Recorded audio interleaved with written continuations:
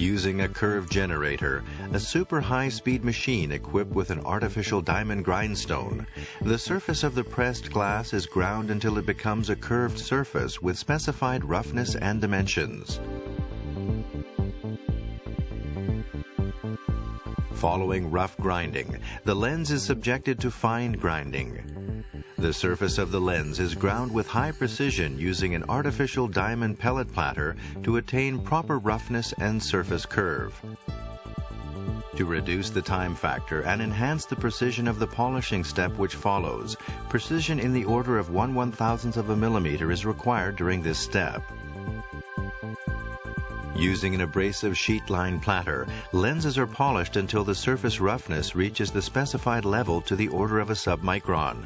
At the same time, the surface curvature is also precisely adjusted. During this step, the surface of the lens becomes more and more transparent.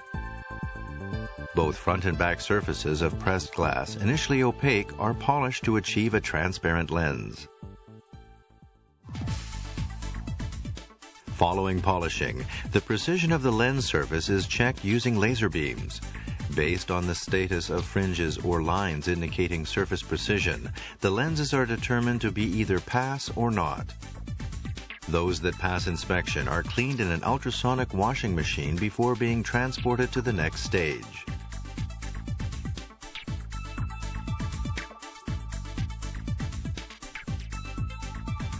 The lens periphery is milled to correct decentration in the optical axis.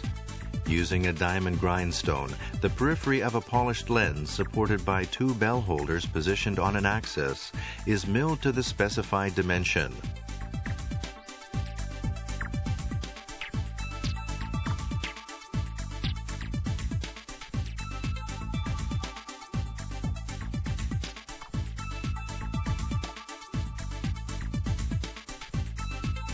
To prevent light which passes through the lens reflecting back, and to protect the surface, the lens is processed with a special coating of thin film.